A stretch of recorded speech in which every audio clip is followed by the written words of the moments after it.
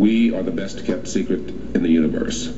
Our mission is to monitor extraterrestrial activity on Earth. We are your best, last, and only line of defense.